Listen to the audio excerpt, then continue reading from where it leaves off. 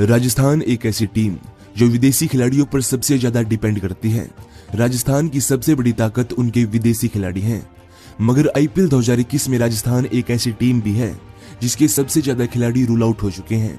राजस्थान के कुल तीन खिलाड़ी आईपीएल 2021 से रूल आउट हो चुके हैं। और हैरानी की बात है कि वो तीनों ही खिलाड़ी विदेशी खिलाड़ी थे, जो राजस्थान की सबसे बड़ी ताकत थे।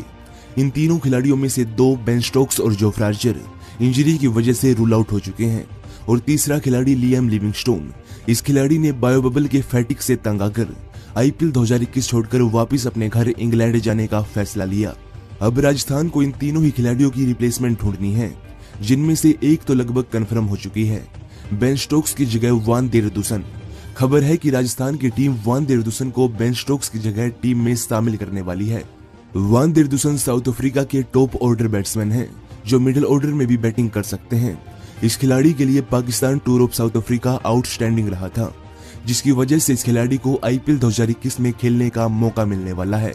पाकिस्तान के खिलाफ हुई वनडे सीरीज़ में इस खिलाड़ी का बल्ला खूब बोला, और टी सीरीज़ भी इस खिलाड़ी के लिए काफ़ी अच्छी रही।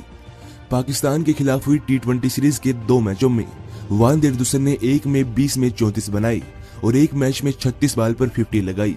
वन देरदुसन की इसी फॉर्म को देखते हुए राजस्थान ने उन्हें बेन स्टोक्स की रिप्लेसमेंट चुना है।